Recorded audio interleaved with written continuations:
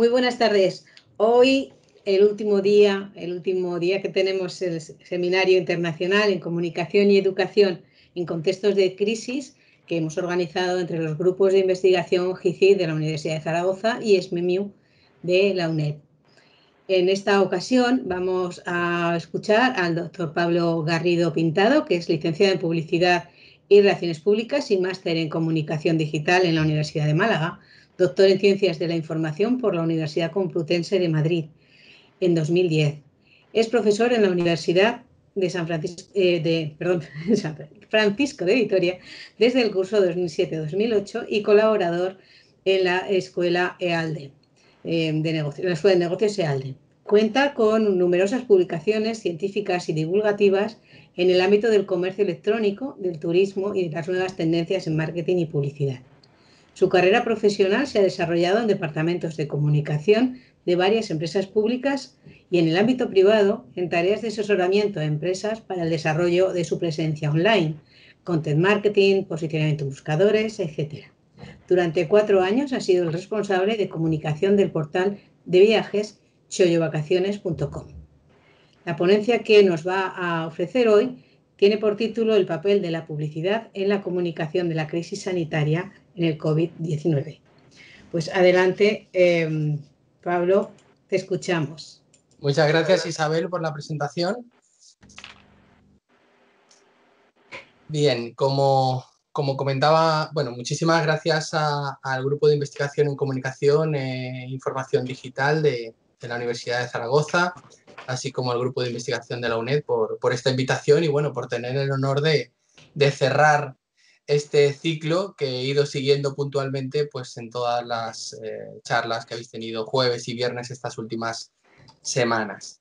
Pues bien, eh, para ceñirme al tiempo que tenemos, que es aproximadamente unos 20 Perdón, Pablo, Pablo, un segundo. Se me ha olvidado advertir a los presentes que estamos grabando la sesión y que, por lo tanto, eh, si siguen en ella, consienten en que esta grabación luego se haga pública, porque lo colgaremos en, los blogs de GICID y de SMENIO y por lo tanto quien no esté de acuerdo simplemente tiene que salir de, la sesión y verla a posteriori cuando la hayamos colgado. Discúlpame y así queda la advertencia hecha para todo el mundo.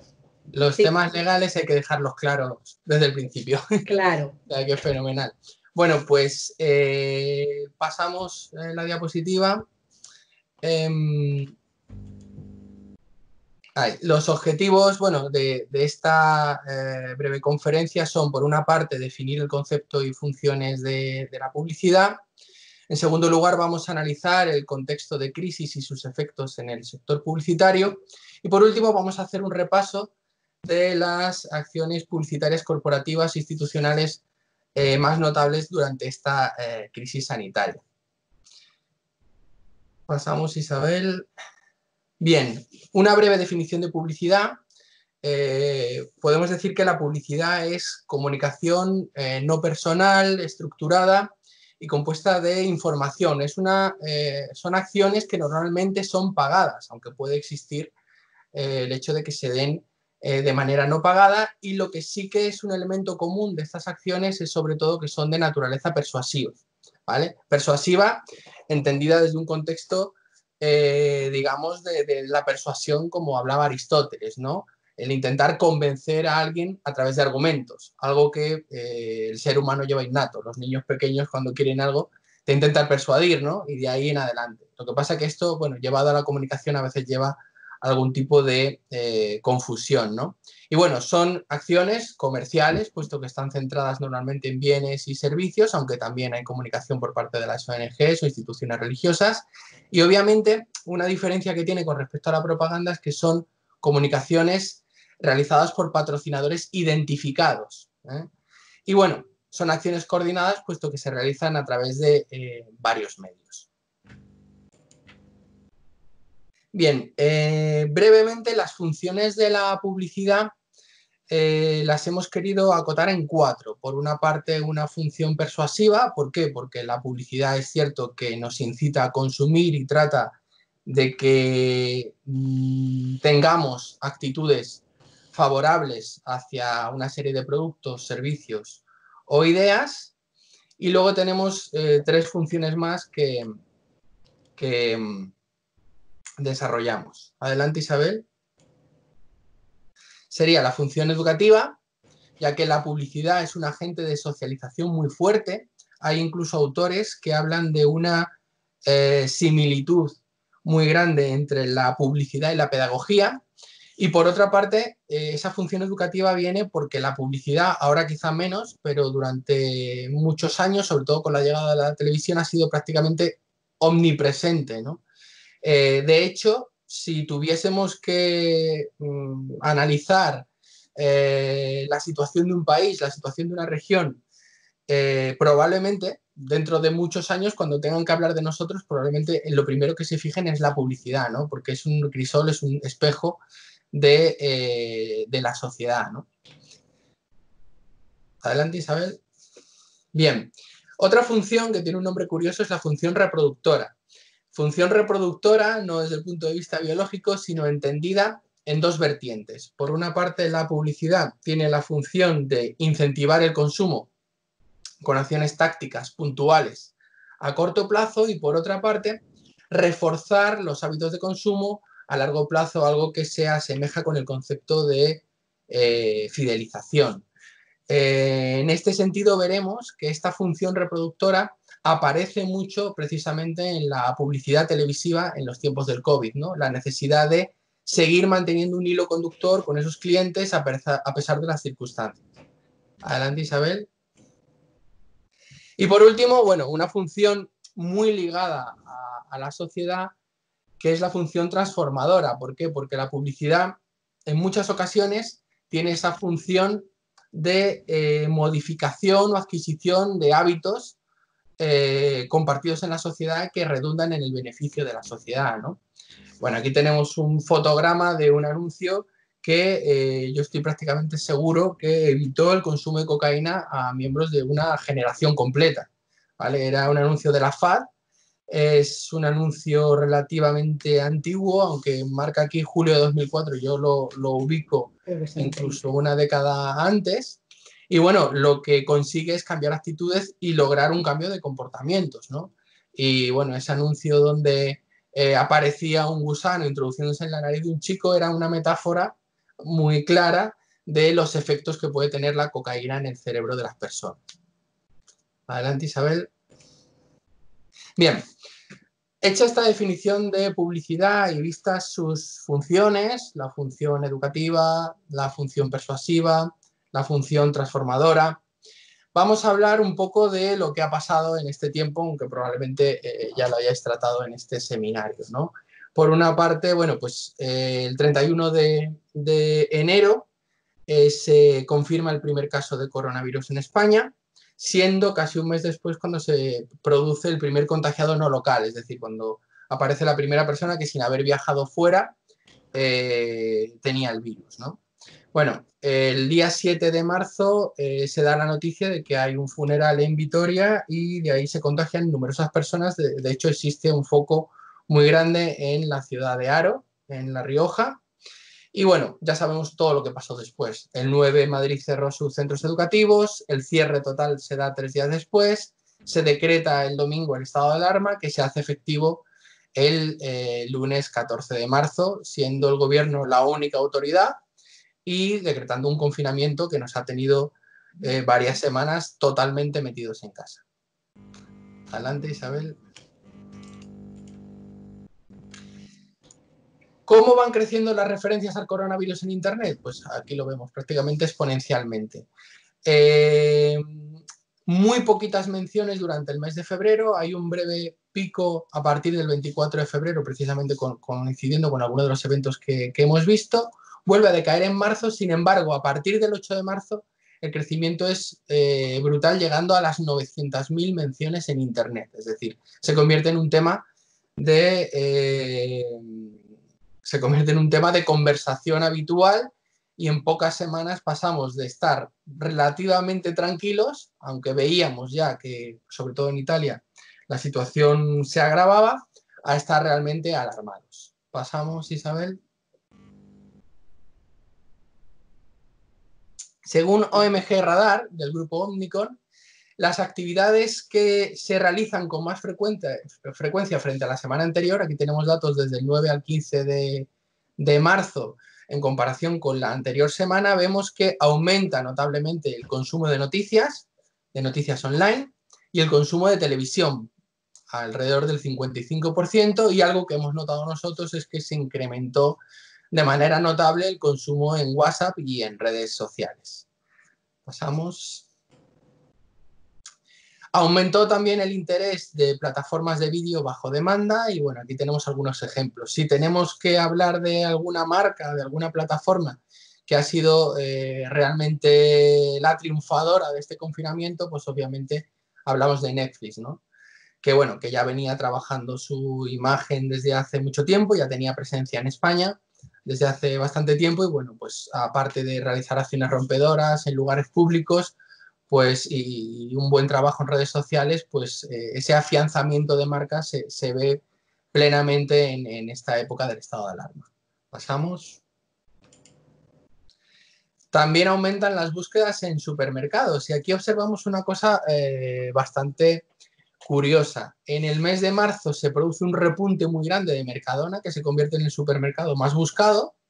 Sin embargo, las búsquedas decaen, porque no sé si sabéis que sobre todo en grandes ciudades, en Madrid y Barcelona, eh, de hecho hasta ahora el suministro a domicilio de Mercadona no se ha podido realizar. Mercadona, debido a la saturación de clientes y la actividad en supermercados, ha reducido totalmente eso. Eso también hace que eh, baje el número de consultas. En este sentido, bueno, pues Carrefour sí que es una marca que ha mantenido el suministro y además ha dado horarios preferentes para personas eh, mayores de edad. Pasamos. Y bueno, esto eh, con respecto al cambio de hábitos, ¿qué actividades se realizan con menos frecuencia? Pues obviamente eh, ir a eventos, tanto deportivos como conciertos, visitar bares, cancelar viajes, tomar el transporte público, salir a la calle. Y bueno, y muchos, conscientes de la situación, sobre todo a nivel sanitario, decidieron aplazar sus visitas al, al médico.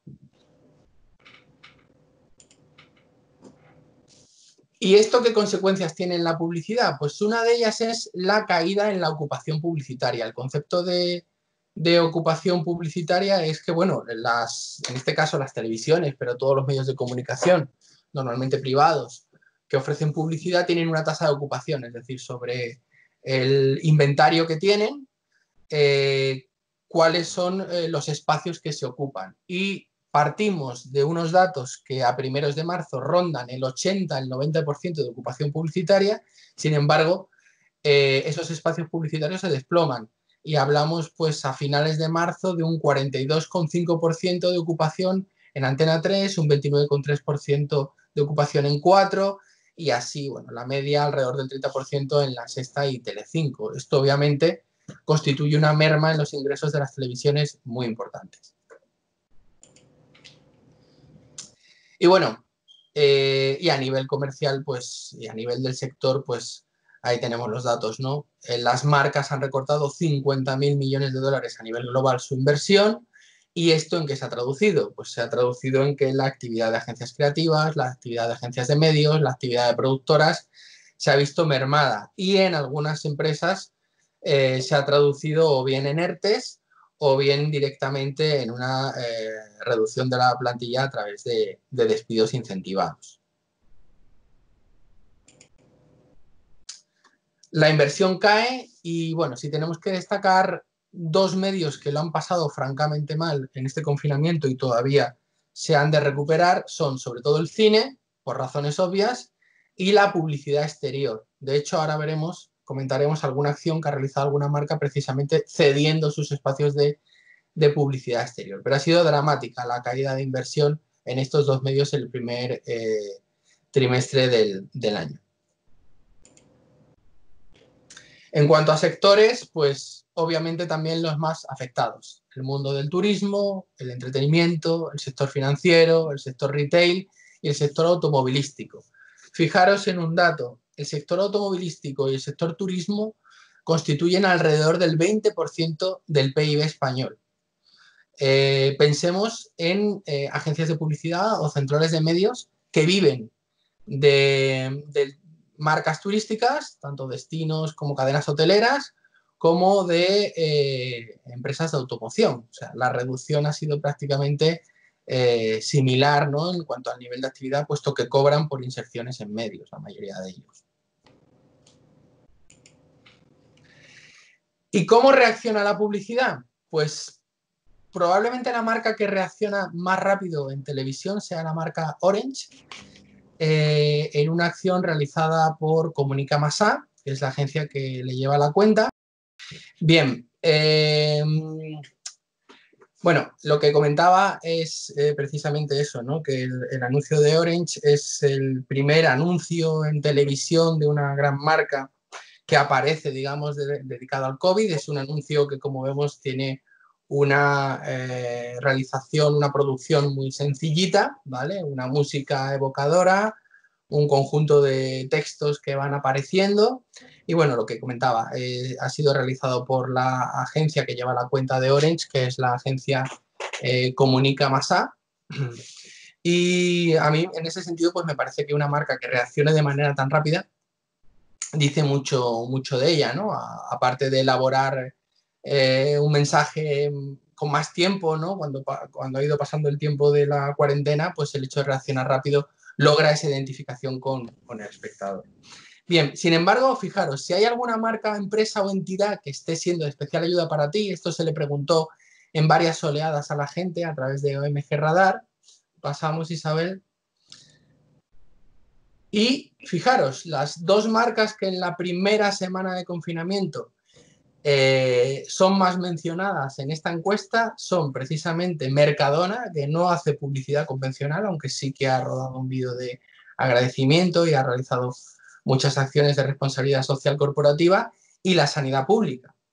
Tenemos pues eh, otras marcas que aparecen como por aquí, pues como Amazon, como Netflix, etcétera, ¿no? Pero de alguna manera eh, es curioso ¿no? que una marca como Mercadona, que renuncia a los canales tradicionales de publicidad, pues aparezca aquí. Pasamos adelante y bueno, en esta semana también lo que se produce es un récord del consumo online. Aumenta el tráfico un 26% y justamente coincidiendo con el estado de alarma, con el confinamiento, se eh, produce un récord de transferencia eh, a nivel nacional, fijaros que el volumen de datos por segundo era de 500 gigabytes, o sea, una auténtica barbaridad que ha puesto a prueba la infraestructura de telecomunicaciones y que, bueno, eh, en ese sentido, al menos eh, la experiencia que yo tengo no ha sido mala, tanto pues para impartir clases online como para seguir conferencias, seguir conciertos, la verdad que no ha habido prácticamente ningún tipo de fallo a este respecto. Y en cuanto al consumo por plataformas, pues vemos el crecimiento brutal de WhatsApp, ¿no? alrededor del 700%. Eh.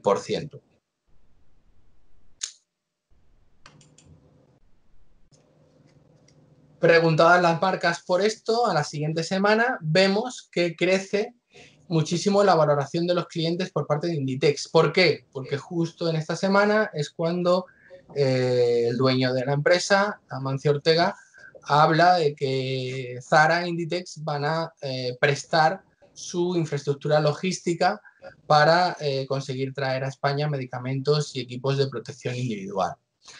Sigue eh, vigente Mercadona por todo el trabajo que realizan en sus supermercados y aparece también con cierta notoriedad, aparte de la sanidad pública y el personal sanitario, pues la marca Telepizza.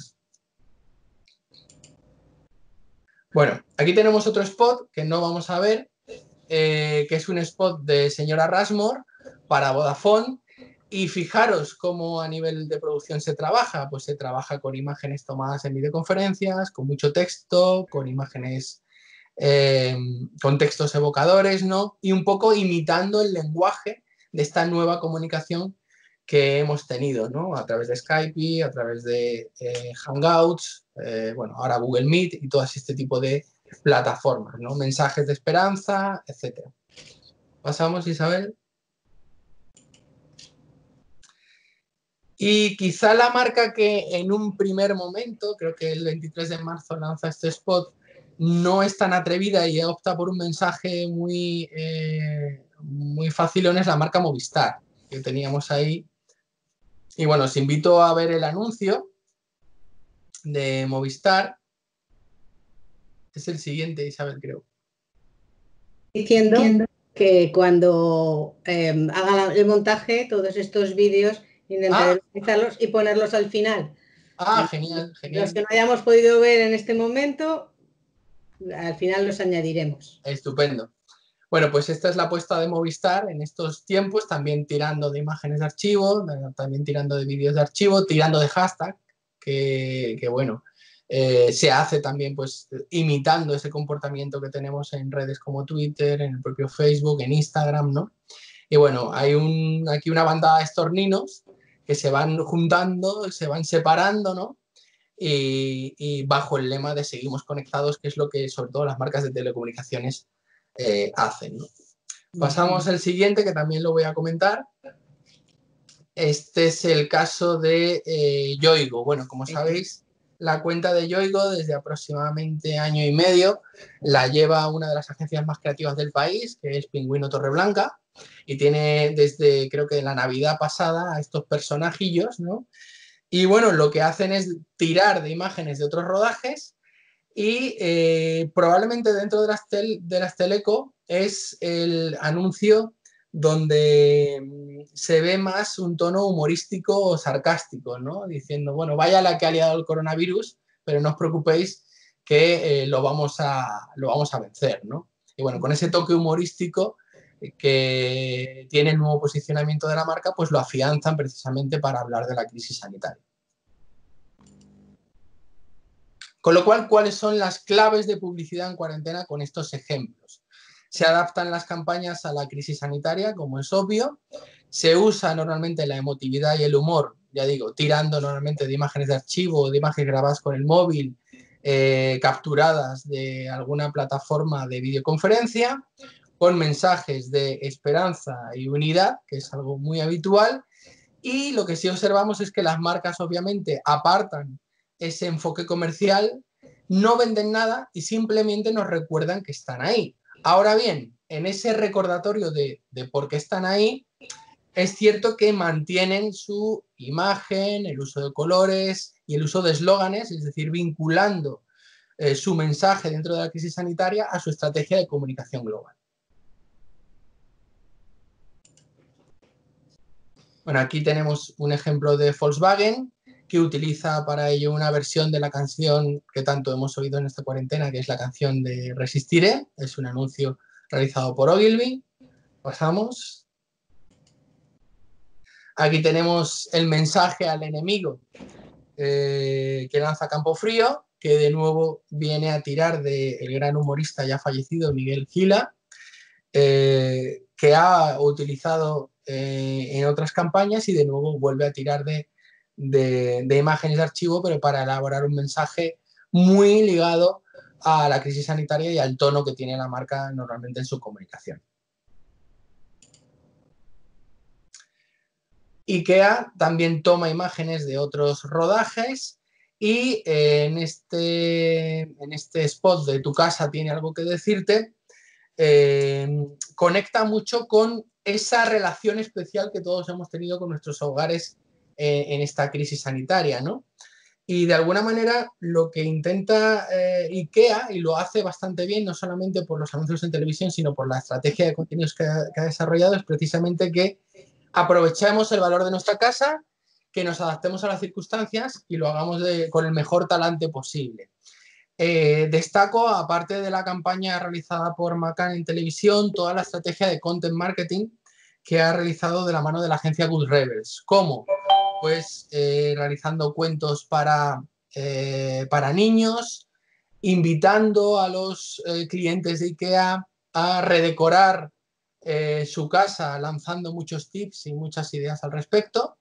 Y ha sido una campaña que, fijaros, ha logrado 30 millones de impactos, con lo cual es una manera de, eh, incorporándose a la vida de las personas en una situación tan especial, lograr aportar valor, ¿no? que es algo súper importante. Rua Vieja eh, deja de lado su eslogan tenemos que vernos más, con una acción pues, muy, muy, muy estratégica, pero muy inteligente, y que es simplemente tenemos que vernos, ¿no? Un poco conectando con esa insight de la necesidad que hemos tenido todos durante estas semanas, pues de simplemente vernos, aunque sea a través de videoconferencia, a través de móviles, a través de lo que sea. Y bueno, ¿cuál es el valor de las marcas? Pues eh, las marcas, sobre todo que vemos presentes en estos ejemplos, son marcas muy establecidas en el mercado, son marcas que en la mayoría de casos han tratado de apelar a la sensibilidad del consumidor y eh, tratando de lanzar un mensaje de esperanza, pero sin caer en el tópico, algo que eh, incluso ha habido humoristas que han criticado a la publicidad en este tiempo. Y ha habido un estudio muy interesante de Nielsen que, al respecto de esta crisis dice que la receptividad del consumidor a la publicidad, al menos en un 30%, ha aumentado significativamente. Y señalan además un momento concreto, que es a la hora del aplauso sanitario. Aquí la receptividad hacia las marcas era bastante considerable. Pasamos. Bueno, aquí tenemos esta eh, crítica que les Em, que les hacían estos humoristas en, internet, ¿no? A la publicidad donde aparecen, bueno, pues em, ataviados, ¿no? Con, con, la vestimenta típica de creativos, las camisetas con colores, la gorra, ¿no? Y hablaban de eso, de cómo era su proceso creativo, pero un poco eh, logrando el humor a través del tópico. Pasamos, Isabel. Y ahora vamos a hacer un repaso de campañas, aunque solamente vamos a reproducir la, última. Eh, la campaña de Volver de BMW España, donde de manera muy, muy inteligente, eh, justo cuando ya nos están empezando, nos empiezan a dejar salir, donde eh, se establecen esas fases por las que hemos ido pasando todos los, los españoles, ellos lanzan un spot donde simplemente lo que aparecen son distintas instantáneas de un garaje abriendo puertas, ¿no? Como diciendo, ahora toca el momento de volver, hay que hacerlo con cabeza, pero vamos a poder disfrutar de nuestro vehículo, siempre ellos utilizando el te gusta conducir, ¿no? En sus eh, diferentes versiones, también adaptados a este momento de la crisis del COVID-19. Tenemos aquí un mensaje de Mitsubishi ligado a su gama de eh, vehículos eléctricos, vehículos eco, eh, que tiene como claim el cuando salgamos y donde aparecen distintas imágenes de animales que como hemos visto han invadido eh, la ciudad durante esta época de la cuarentena, ¿no? como si la naturaleza de alguna manera reivindicase su papel. Hemos visto jabalís en la zona del barrio del Pilar, en Madrid, también en la zona de Montjuic, que estos habitualmente bajan desde, desde la zona montañosa. Bueno, hemos visto en algunos, en algunos eh, pequeños pueblos de la cornisa cantábrica algún oso paseando por el pueblo, ¿no? Y de alguna manera ellos se alinean al mensaje de, oye, vamos a tener cabeza, esto ha pasado por algo, respeta al medio ambiente y bueno, piensa en Audi, en, perdón, en Hyundai como, como, como marca para, para, comprar un coche ecológico. Y esta, en esta, a esta campaña de Ecovidrio yo le tengo un cariño especial, porque eh, ligados a su actividad, que es la actividad del reciclaje, lo que hace la marca Ecovidrio es que recicla anuncios, ¿vale? Utiliza anuncios que nos han gustado en los últimos años y eh, con una música pues, muy llamativa los va colocando eh, en un spot que yo creo que, que, está bastante bien logrado. ¿no? Y con el eslogan, con el hashtag reciclar da vida, pues consiguen una pieza bastante curiosa y muy ligada al valor de marca. Bueno, este reciclaje no solamente lo hemos hecho en España, también lo han hecho marcas como Weiser eh, donde linkan el WhatsApp este que, en la que se comunicaban varios amigos, ¿no? Con vamos a estar juntos en la distancia.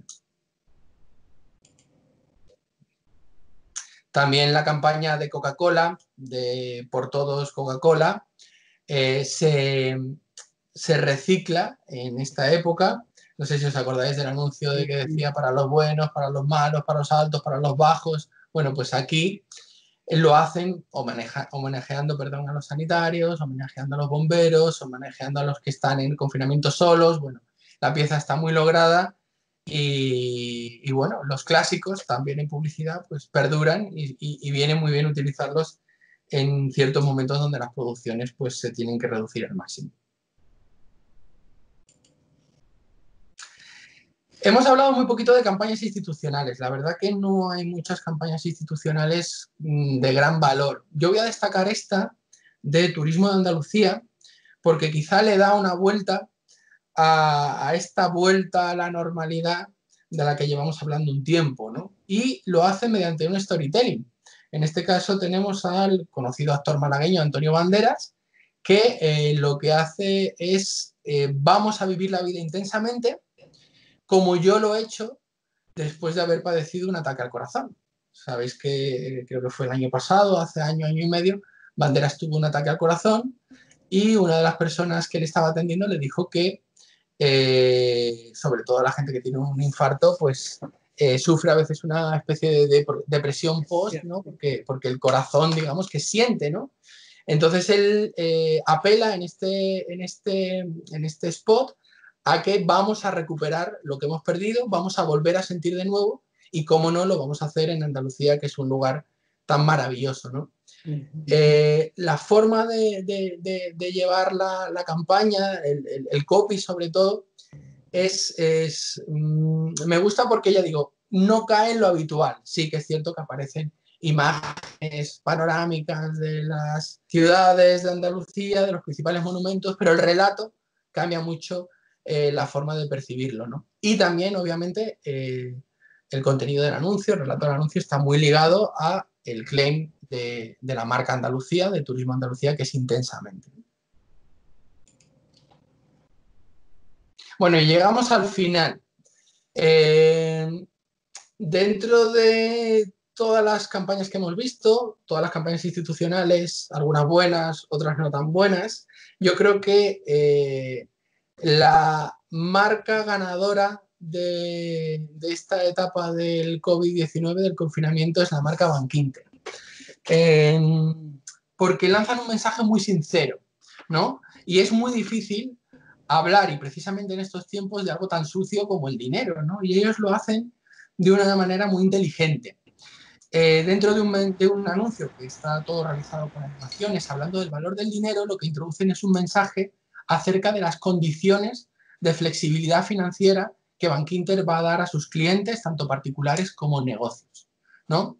Y se ha convertido, además, eh, la canción eh, del anuncio, del jingle, es una canción de la artista él, eh, se ha convertido en una especie de himno de la cuarentena. ¿no? Y esta pieza es obra de la agencia Siux Ciranos, que es eh, bueno, una agencia fundada a primeros de, año. Esta puede decirse que es su carta de presentación, aunque bueno, viene, eh, es una agencia que está formada obviamente por eh, Leandro Raposo, que es un copy bastante famoso, ¿no? Gente del mundo de la publicidad con mucha, con mucha experiencia y, bueno, con capacidad pues, para generar este tipo de mensajes. Y bueno, con esto termino. Quizá como conclusión eh, me atrevo a decir que aunque se ha producido por razones obvias, las marcas tampoco, como, como muchos de nosotros no sabíamos qué hacer, ¿no? Eh, redujeron la inversión notablemente y poco a poco eh, la van recuperando, sobre todo en sectores que lo han pasado bastante mal, como la automoción y el turismo, como decía antes, que mm, reducir la inversión no es algo aconsejable, puesto que una marca que reduce drásticamente su inversión o que la elimina eh, sus rankings de notoriedad y posicionamiento caen al mínimo al año, año y medio, con lo cual las grandes marcas lo que hacen precisamente es que en estas etapas de crisis, y ya pasó con la crisis financiera de 2007-2015, lo que hacen es precisamente aumentan su inversión, que funcionan las campañas que se identifican con las necesidades del cliente en tiempos de crisis, y esto lo hemos visto en algunos ejemplos hoy, y que obviamente eh, los mensajes, lo que eh, perdón, los consumidores lo que, lo que demandamos son verdad. demandamos verdad, mensajes que mm, aborden la realidad, que se identifiquen con nosotros y sobre todo que tengan conciencia social. hay que tratar de huir de los tópicos y de los mensajes excesivamente edulcorados, porque cada vez somos consumidores más inteligentes, con más variedad de contenidos de todo tipo y sabemos discriminar muy bien lo que es de verdad de lo que nos trata de engañar. Y poco más, muchas gracias por, este tiempo. Eh, os dejo aquí mi contacto, bueno, mi, mi, contacto en LinkedIn, en Twitter y mi correo electrónico por si alguno de vosotros tiene que hacer algún comentario. Y ahora, bueno, pues abrimos el periodo de debate. Muchas gracias Isabel por ayudarme con la presentación. Ya, pues te tengo ya el, compartir y empezamos con la ronda. ¿Lo tenéis ya? ¿Estáis viendo? Sí, ya tenemos las preguntas. Tenemos aquí una pregunta de Sara. Esto es, exacto. En el chat nos podéis preguntar lo que queráis. A ver, que vea yo el chat. Aquí está. Bueno, tenemos una primera pregunta de Sara que nos dice, por supuesto, enhorabuena, Pablo. Ha sido muy interesante tu ponencia y me gustaría hacer una pregunta. El periodo de confinamiento ha sido un periodo importante para reflexión desde muchos ámbitos. ¿Crees que las empresas publicitarias también han reflexionado? Y en caso positivo, si esto va a implicar cambios importantes en la futura nueva normalidad. Pues obviamente eh, obviamente la publicidad como crisol de la sociedad que representa los valores de las marcas, los valores de las empresas y se adecua a los valores de los consumidores, ha tenido una profunda reflexión y, la, y, si no la han tenido, mal vamos. Primero porque desde el punto de vista económico, obviamente la caída ha sido brutal y esto va a tener consecuencias eh, en el balance de resultados de las agencias y también, lamentablemente, en el empleo de muchos de los trabajadores del sector. Y porque yo creo que esos mensajes de concienciación que, por ejemplo, el año pasado tan acertadamente puso en boga Estrella Damm, por ejemplo, con su campaña de verano, van a estar muchísimo más presentes, ¿no? Porque de alguna manera el consumo desaforado, eh, el consumo desaforado tiene que, tiene que reducirse y tiene que venir eh, acompañado de un consumo mucho más responsable. Y eso yo creo que lo vamos a ver mucho más, espero, en la publicidad en, el, tiempo, en el tiempo presente. Muy bien. Susana y Alejandro, desde el otro lado del charco, te felicitan efusivamente. Muchas gracias. Y, Pavel nos dice, excelente exposición, que consideras eh, que los clones publicitarios también se constataron, sobre todo después del primer mes de confinamiento todo parecía un poco parecido, efectivamente, Pavel. ¿Cómo lo ves? ¿Te refieres, Pavel, a eh, la, similitud de mensajes de todas las marcas? O sí. Bueno, voy a, activar el micrófono porque tengo el iPad colocado en un soporte eh, y se me dificulta poder...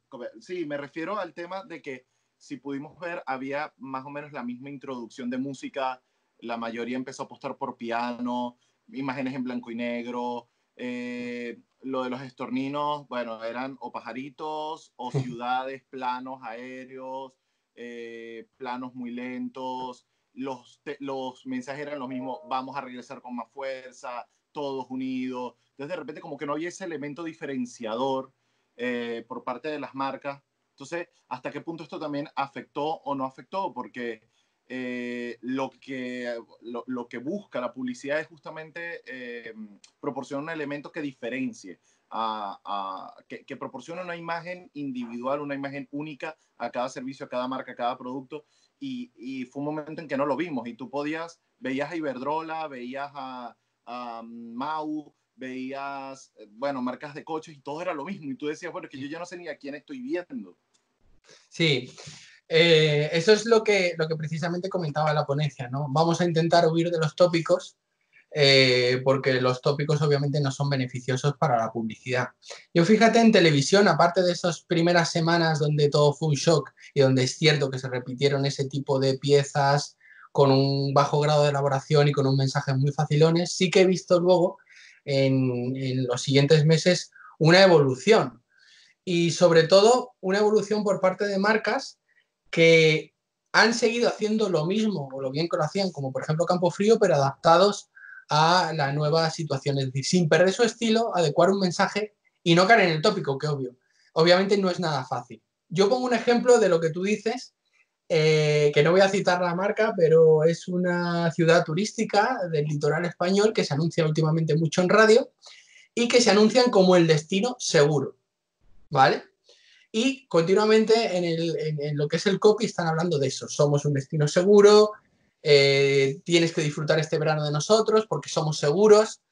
Eso obviamente es un mensaje mm, que te lo puede estar diciendo esa ciudad como te lo puede estar diciendo una ciudad del interior, como cualquiera. Es decir, todos, eh, todas las ciudades, todos los organismos públicos, todos los negocios que hay en las ciudades, si siguen el protocolo eh, de actuación que ha marcado el, Ministerio de, Sanidad, van a ser lugares seguros.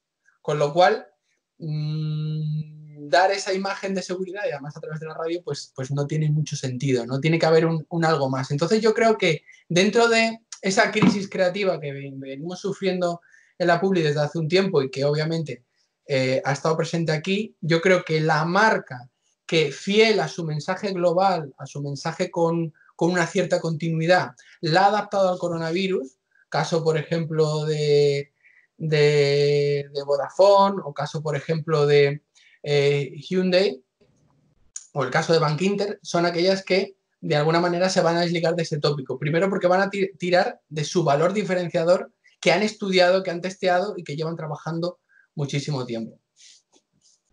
A mí se me ocurre una, pregunta. Eh, aparte de que me habéis recordado un movimiento que hubo en LinkedIn, eh, que los publicitarios pedían perdón por haber hecho muy mal su trabajo, porque se habían dedicado a, hacer refritos de lo que había y habían salido para adelante, y hubo otros publicitarios que dijeron, habrá sido tú, firma la carta. no, me digas quién es, pues no nos metas a todos en el mismo lío, porque hay gente que realmente se lo ha currado y ha hecho eh, ejemplos de apoyo a los mensajes que se necesitaban de alguna manera, la sociedad necesitaba y se ha unido a esos valores. Pero mi pregunta, además de comentar que efectivamente parecían clones, muchos de ellos no estaban bien hechos, em, ¿por qué creéis que una empresa como Mercadona o otras de alimentación se han seguido de alguna manera eh, invirtiendo cuando realmente son las que no han sufrido la crisis? La parte de alimentación pegaron un pico impresionante de ventas, sobre todo al principio, y luego se han ido manteniendo. Así que, y sin embargo, otros sectores que se han hundido, efectivamente, ahí es donde han cortado la publicidad. Parece que no tengan todavía muy claro que la inversión en publicidad es, imprescindible, como muy bien has dicho antes. en el caso de, alimentación, es cierto que, que Mercadona no se prodiga en medios convencionales, pero eh, sí lo hace y además cada vez más intensamente en redes sociales, donde ha publicado un vídeo de agradecimiento a todos los que han trabajado aquí y sobre todo en acciones de responsabilidad social. ¿no? Y ahí obviamente hay marcas que sin haber invertido grandes sumas han conseguido gran notoriedad. La primera Inditex, es decir, cuando Amancio Ortega se pone al servicio del Estado español para traer productos, obviamente gana muchas eh, cotas de, de, imagen, ¿no? Y otra marca, por ejemplo, que, ha adaptado su producción a las necesidades del coronavirus ha sido, por ejemplo, SEAT, que SEAT eh, en su fábrica de Martorell lo que ha hecho es que ha estado fabricando respiradores, ¿no? Entonces, eh, quizá ese, esa responsabilidad social corporativa es para hacerse la mirar. Luego las empresas de alimentación, lo que ha ocurrido es una cosa, que se han disparado en ventas, pero por ejemplo no le dejaban hacer promociones. Entonces, claro, al no, al no dejarle hacer promociones puntuales como el 3x2 de Carrefour, por ejemplo, que, si no ha vuelto hace poco estará al volver, eh, han tenido que cambiar el tono de sus mensajes. Y en ese sentido, eh, creo recordar ahora mismo que la campaña de Aldi ha sido una de las que ha logrado precisamente eh, esa notoriedad sin caer en la típica promoción que es lo que te hace, por ejemplo, Lidl, ¿no? Que te dice, estas son las novedades de la semana, aquí tenemos nuestra Thermomix, y este tipo de, cuestiones, ¿no? Entonces, ellas también se han tenido que reorientar, ¿no? Yo creo que lo han hecho centrándose mucho en las acciones de responsabilidad social porque eh, la parte creativa, sobre todo al principio, sin, sin, la, sin la posibilidad de hacer promociones, pues han estado un poquito choqueadas. Sí, y yo veo un poco, no sé qué opinarás, la publicidad como muy reactiva. O sea, a todos nos ha pillado el toro, o sea, está clarísimo, quien diga que esto se lo veía venir miente, pero em, de alguna manera, pasado el primer shock, tendrían que haber empezado a, no sé, a captar nuevos clientes, a reorientar negocios, y eso yo lo he hecho en falta. De alguna manera es lo de siempre, me adapto al coronavirus, cuando pase el coronavirus ya empezaremos a volver a hablar de otras cosas. Pero así como se han readaptado las producciones de las empresas, mm. añadiendo nuevos surtidos en su, en su bloque de productos, no lo han hecho en comunicación. De alguna manera veo que van como muy, muy lentos, muy, muy por detrás y no salen del día a día. Sí. De todas maneras, mm, bueno, a ver, me gustaría agregar algo porque sí es verdad, pero luego hubo otras marcas, el caso de Milka España, hizo una cosa increíble que fue eh, ante la situación de que la gente estaba en el, eh, eh, en el ámbito digital y que había mayor consumo de contenido, sobre todo de entretenimiento, porque la gente necesitaba escapar, se inventaron una búsqueda de huevos de Pascua en Fortnite. Y para darle mayor promoción, entonces se buscan a un influencer que tiene su canal de Twitch una cantidad enorme de seguidores y le dijeron, encárgate tú, que es un chico que no llega a la mayoría de edad, y le dijeron, encárgate tú de organizar esta actividad. Y la actividad lo que buscaba además era involucrar a la familia. O sea, en un juego que es bélico, porque al fin y al cabo es un juego bélico, o sea, la, la estética sí es todo muy colorido, todo, pero al fin y al cabo tienes que eliminar a todos los oponentes para quedar tú. Este, y entonces el hecho fue, en este ambiente virtual, entonces organizar una búsqueda de huevos de Pascua todo esto, eh, el huevo de Pascua de chocolate, Milka. O sea, eh, había una asociación allí muy diferente porque, eh, bueno, era buscar las alternativas ahora los nuevos consumos que se venían dando en el marco de un proceso atípico que era el del confinamiento. Me interesa. yo, yo, creo que eso también lo podemos rescatar. Sí, de alguna manera Pavel plantea una cosa interesante, Pablo, y es el, el uso de los influencers porque literalmente ha dicho, le encargaron a este chaval jovencito, si te he entendido bien, que se encargara de, esa campaña. Sí, sí, sí, sí, efectivamente, de hecho diseñó, fue, uno de los La marca en manos de, un influencer que es un chaval que juega al Fortnite. Mm, vale, me parece, eh, me parece terrible. Acabo de entregar un, capítulo que hablábamos precisamente de los influencers. Eh, ¿Cómo ves el papel de los influencers en la publicidad? Porque hemos visto muchísimos ejemplos buenísimos, que por cierto, como hemos tenido ese problema eh, con el sonido, lo que haré será incrustarlos en la entrada del blog donde esté esta, esta grabación, con la explicación. Así la gente podrá ir desde la explicación, pausa, veo el vídeo, vuelvo a seguir la explicación. Yo creo que va a ser lo mejor. En, los influencers están sustituyendo a los publicistas. De alguna manera los creativos tienen unos días contados porque ahora de repente es todo lo que se le ocurre a este niño youtuber fabuloso. Mm, bien, todo va bien, ¿no? Poco también, eh, que ya ocurrió en la radio, hay, un programa de radio en España muy famoso donde la marca le dice, oye, mm, habla de mi marca, y se lo inventa en el, como el carrusel deportivo, me parece que se llama, y algunas publicidades digo, Dios, esto seguro que lo ha hecho un creativo, se lo ha inventado este señor sobre la marcha, ¿no? Porque como es muy famoso, tiene muchos seguidores en la radio, pues lo dice. ¿De alguna manera los creativos están muriendo y están haciendo los influencers? No, yo creo que no. Es decir, la, la profesión de creativo publicitario es una profesión que requiere de ser uno, un buen observador, de ser una persona que no digo que los influencers lo sean, ¿no? pero que tenga muchísima cultura general, que esté en contacto con el mundo cultural, con el arte, con la, con la literatura. O sea, requiere de ese pozo que, que, oye, salvo honrosas excepciones, no lo puede cubrir una persona que al fin y al cabo lo que hace es que está en una plataforma determinada, que sabe explotar al máximo y que ha logrado un número eh, notable de seguidores. De hecho, lo que vemos eh, muchas veces, he visto yo alguna campaña crítica por ahí que, que dice es cuando a mí un influencer me demuestre que provoca conversión en ventas, entonces le pagaré. Eso he visto yo por parte de alguna empresa, ¿no? Porque si no estamos hablando de un mercado muy, muy hinchado, los que llevamos estudiando la comunicación ya un cierto tiempo, este tema de los influencers nos rasca. Yo creo que de sustituir, sustituiría a la imagen de la celebrity, del famoso. Del, famoso como influencer que ahora, bueno, pues en vez de ser un tipo con 30 años de trayectoria en el cine, pues es una persona que se maneja muy bien en el Fortnite o se maneja muy bien en Instagram, ¿no?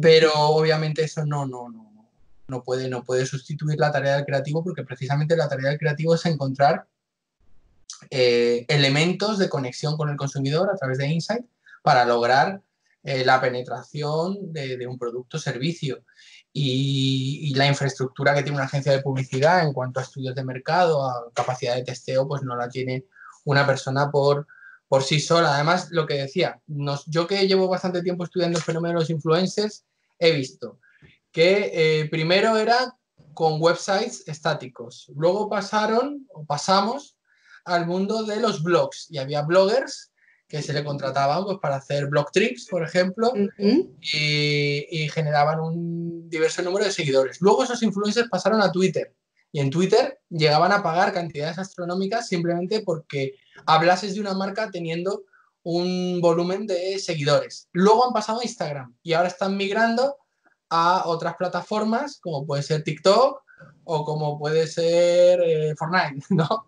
Entonces, Em, hemos visto pasar tantas modas que al final mm, vemos que lo que queda es la generación de un buen contenido. Eso sí, si la marca en un momento puntual consigue adaptarse al consumidor generando buen contenido, como el ejemplo que ha comentado Pavel de Milka o el ejemplo que hemos comentado antes en la presentación de IKEA, eso, eso, eso va a hacer que, que la marca en cualquier contexto funcione. Por ejemplo, y a lo mejor me meto en un fregado, la marca Leroy Merlin es una marca que había trabajado a nivel redes sociales y contenidos muy bien durante el último año y medio, dos años, sobre todo con campañas de content dirigidas a cómo eh, los que son un poquito manitas ¿no? dieran soluciones a su hogar de todo tipo, desde yo que sé, montar un perchero a eh, montar unos em, cajones de estos que se, se cierran automáticamente. Sin embargo, podían haber aprovechado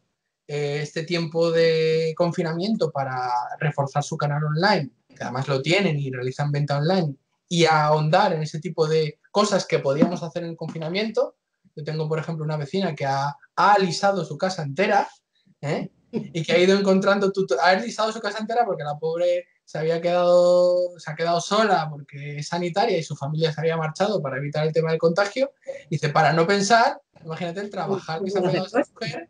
Sin embargo, ha tenido que tirar de tutoriales de YouTube y muy poquito de, marcas como puede ser Leroy Merlin, pero el trabajo que tiene eso es brutal. O sea, tienes que mojar el gotelé, quitarlo con una espátula, luego pasarle con el agua plus, que quede todo súper liso y bueno, tres meses lo tiene ¿eh? y los resultados son maravillosos. Por eso digo que... que... la gente luego cuando, cuando le han dejado salir se ha ido al Leroy Merlin a comprar, a pesar de que no ha hecho eh, nada especial. Si hubiera hecho algo, esas ventas aún serían mayores, yo creo. De alguna manera, porque no se le habrían acumulado en la tienda el primer día, lo hubiera ido vendiendo tranquilamente. Y lo tenían, ¿eh? es decir, tenían la, estructura hecha porque llevan trabajando en content marketing mucho tiempo. A lo mejor ya digo, puede ser un tema puntual que yo no les haya seguido en este tiempo, ¿no? Pero yo creo que podían haber aprovechado la, oportunidad. Sí que dentro de la caída de medios que ha habido, eh, los únicos medios que se han mantenido o han tenido una caída más baja precisamente ha sido Internet y redes sociales. No, precisamente porque lo que decíamos, el consumo de WhatsApp, aunque no tiene publicidad, o el consumo de noticias online ha crecido muchísimo. De hecho, de primera mano conozco marcas eh, de distintos sectores que han reducido totalmente su publicidad, sin embargo en social media, en buscadores, se han mantenido con la misma inversión precisamente para, eh, para lograr ese, mantenimiento, por decirlo así, de, la marca. Sí. Pues muy bien, no sé si alguno de los compañeros que estamos aquí en, en directo tiene alguna pregunta o algún comentario. Abrid el, el micrófono si queréis y lo comentáis directamente y si no vamos terminando ya. ¿Alguno de vosotros queréis tomar la palabra? ¿No? Bueno, pues entonces eh, agradecemos muchísimo eh, esta ponencia tan, tan agradable, tan completa, tantos vídeos que acabaran en un formato muy original del blog. los problemas técnicos, los creativos, los acabamos resolviendo de alguna manera Efectivamente. Y, vamos a disfrutar de tu ponencia. Pausa, veo el vídeo, lo que no hemos podido hacer ahora. Ya lo siento, por problemas técnicos va a quedar muy bien. Y mi conclusión sería un poco eso, que al fin y al cabo la, creatividad es encontrar la solución mejor y, más rápida para, un problema. Y, eso se ha, se ha, estimulado bastante en la época de COVID, como nos has demostrado en tu agradable ponencia. Carmen, ¿querías comentar algo? Pues nada, muchísimas gracias. Agradecerle a Pablo. Lo cierto es que ayer hicimos pruebas y funcionaba todo perfectamente, ¿verdad? Pero siempre Murphy parece que aparece en el peor momento y nos deja con aquí las cosas sin poderlas hacer funcionar en, su tiempo debido. Y nada, que eh, agradecerte también como compañero de Icono 14, pues eso, el haber compartido tu tiempo y tu espacio para ofrecer esta ponencia. Muchas gracias, Pablo. Gracias, Carmen. Y gracias también a Isabel por su interesante presentación como coordinadora de este seminario y a Sara Osuna como codirectora de, de todo el seminario este internacional que hemos tenido en tiempos de confinamiento. Como ahora parece que el coronavirus nos, nos, va a dar un poco de tregua, esperemos no tener que proseguirlo virtualmente, sino eh, de forma presencial en próximos meses y en el caso de que tengamos que volverlo a recuperar, pues volveremos a, programar nuevos contenidos, como hemos venido haciéndolo semana tras semana, en el campo de la educación mediática, educación comunicación, también de la publicidad, como ha sido eh, esta ponencia que nos ha ofrecido Pablo Garrido. Que muchísimas gracias a todos los que habéis estado semanalmente acompañándonos y también los que habéis participado a través de nuestro canal de YouTube, descargándolo eh, posteriormente. Muchas gracias también a todos los compañeros y compañeras del grupo GICID que han participado y a los compañeros y compañeras del grupo SMEMU de la Universidad Nacional de Educación a Distancia, la UNED, con eh, Sara Osuna como eh, líder de, este grupo. Muchas gracias, Sara. Te paso la palabra. gracias, gracias a todo el mundo. Me reitero en todos los agradecimientos en decir que eh, nunca hay mal que por bien no venga y hemos tenido la posibilidad de compartir a nivel planetario este seminario. De hecho, pues ahora mismo están los compañeros de Argentina, en fin, eh, creo que tenemos que ir, la reflexión que nos tiene que quedar en este seminario también es que tenemos que ir a fórmulas mixtas, ¿no? presenciales más virtuales, para que todo el mundo tenga la posibilidad de acceder y de tomar la palabra. Nada, muchísimas gracias al grupo GICID, desde el grupo SMEMIU y, y, por supuesto emplazados a una segunda edición de eh, la segunda edición del próximo seminario internacional. Perfecto, pues entonces con un gran abrazo virtual a todos, aquí dejamos hoy la sesión y nos emplazamos para la siguiente. Un abrazo. Un abrazo. Un abrazo, gracias. Un abrazo. Gracias. Hasta luego. Un abrazo.